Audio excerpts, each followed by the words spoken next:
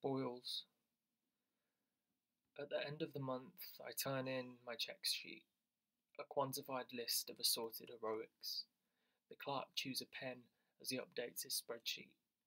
A bushel of rare herbs acquired from a mountain top, a missing ring back in the hands of its owner, a wagon escorted through countryside swarming with bandits. I typed up the weekly meeting notes as requested.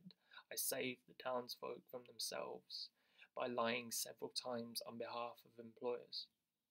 He tallies it all and deposits the funds in accordance with work legislation and those few gains obtained by unions. A portion goes straight out for rent. Then I spend some on eating. I'd love to eat fresh, but I'm just so tired. The driver is with me shortly. I take my pizzas at the door. His fee plus tip will be spent on him eating.